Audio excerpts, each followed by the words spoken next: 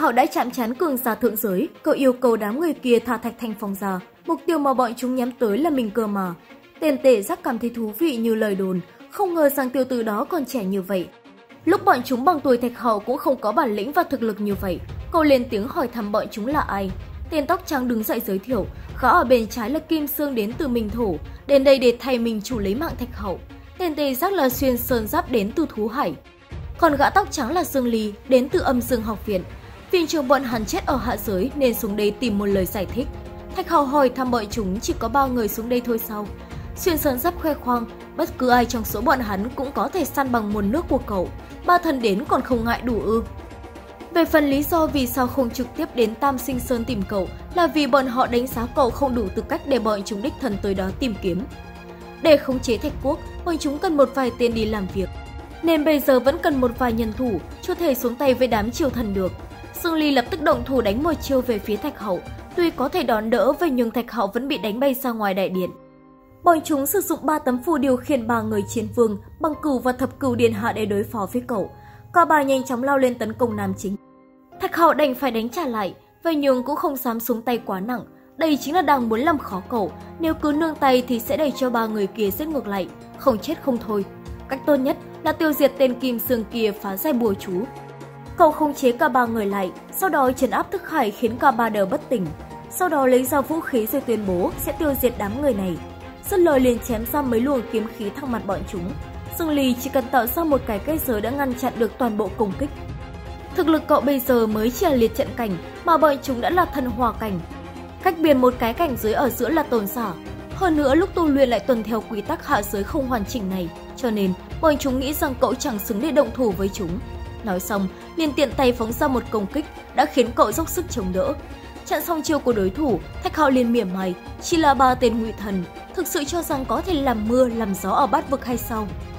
Lời này làm cho Dương Lý tức giận, giữa việc đốt lên thần hỏa và không có thần hỏa là cách biệt một trời một vực. Hắn ta khuyên cậu hãy tự vẫn, miễn cho trước khi chết lại phạm một tội phỉ báng thần. Thạch Hạo đương nhiên sẽ không làm theo, mục đích của cậu chính là đang muốn chọc giận bọn chúng. Tề giác lấy đào lao lên tấn công, Thạch Hạo lấy ra một cái pháp chỉ, từ pháp chỉ xuất phóng ra rất nhiều đòn công kích, sáng súng như mưa. Tên tê giác cuộn thân mình lao lên trực tiếp vai chạm với công kích mà không hề hấn gì. Hắn thừa nhận chiều này không tệ, uy lực có thể nghiền nát tồn gia cảnh. Đáng tiếc là hôm nay chọn sai đối thủ rồi. Phòng ngự của tộc bọn hắn, dù là trong thần thì cũng xếp hạng đầu tiên. Hắn há miệng phóng ra một luồng công kích phản công ngược lại. Thạch hạo đem lực lượng của pháp chỉ sai chi vào trần quốc thần kích, rồi ném xuống bên dưới. Trường kích đi xuyên qua công kích đâm thẳng xuống đầu tề giác. Tưởng là ăn xong môi chiều này, hắn ta sẽ bị đánh một lỗ thủng đầu, vậy nhưng đã không có chuyện đó xảy ra. Tề sắc vẫn nguyên vẹn, hắn chỉ là không ngờ quyền trục đó lại còn giấu thủ đoạn. Vậy nhưng cũng chỉ vậy mà thôi, hành động dãy ruột này càng gợi lên sự thèm muốn của hắn.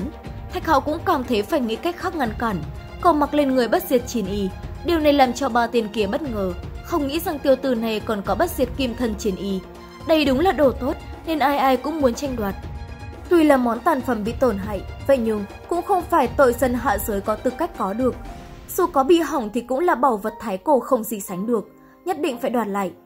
Vậy nhưng đồ chỉ có một món, bọn họ ở đây có đến ba người, làm sao mà chia?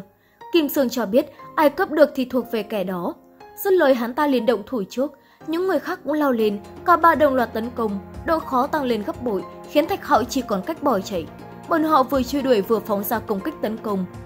Thạch Hạo đều tránh né được, cậu suy tính nếu bọn chúng đã muốn bắt diệt kim thân của mình, vậy thì lấy nó làm mồi nhử để dụ bọn chúng đến chỗ đó. Một đường bỏ chạy đến cái hồ, đây chính là nơi mà ngày trước Nguyệt Thiền đã bày bố pháp trận. Uy lực lúc đó không đủ để đánh giết kẻ địch thượng giới, vậy nhưng nhờ có đà thần thạch thì trận pháp bây giờ đã được cường hóa thêm rất nhiều. Lúc này ba tên kia đã rơi vào bẫy của mình, Thạch Hạo liền khởi động trận pháp, một lốc xoáy khổng lồ nhanh chóng xuất hiện nhốt ba người lại bên trong. Cả đám bị gió xoáy cuốn cho lăn lóc, kỹ năng khống chế của Kim Sương bị mất tác dụng, toàn bộ người dân Thạch Quốc tỉnh táo trở lại. Dương Ly nhận ra trận pháp này, hắn bộc phát lực lượng phá tan trận pháp giúp ba người thoát ra ngoài, sau đó tạo ra một quả cầu năng lượng khổng lồ. Nếu chiêu này bị đánh trúng, Thạch Hạo dù có bất diệt kim thần thì cũng bị thương thua cuộc. Cậu nhanh chóng lấy ra một tấm phù để dịch chuyển bản thân ra chỗ khác, bọn chúng thấy vậy liền đuổi theo. Thạch Hạo vừa phải bỏ chạy thật nhanh, vừa phải tránh né công kích, bộ dạng khá chật vật. Muốn thoát khốn cần phải mượn sức mạnh thực sự cường thế, sau khi suy nghĩ kỹ càng thì lại cảm thấy không ổn. Nhớ rằng tháp bạt tộc còn trận pháp truyền tống nên cậu lập tức chạy tới đó, mở ra một cánh cổng liên thông tới Bắc Hải. Biết ý định chạy trốn đó, bởi chúng liền tung ra một loạt công kích, vậy nhưng không thể ngăn cản được, cuối cùng vẫn phải xông vào truyền tống cùng với Thạch Hậu. Thạch Hậu trực tiếp rơi xuống biển, lợi dụng điều này để lặn xuống bên dưới. Tên tề giác thế vậy vẫn không lo lắng mà còn cảm thấy hứng thú, đây là đang muốn chơi trốn tìm hay sao? Hắn cũng muốn xem cậu có thể trốn được bỏ lầu. Bọn họ liên tục tung chiều xuống bên dưới, dù ở dưới nước, vậy nhưng cậu vẫn vô cùng chật vật. Chỉ có thể lạng lách tranh né chứ không thể vận dụng pháp lực để ngăn cản.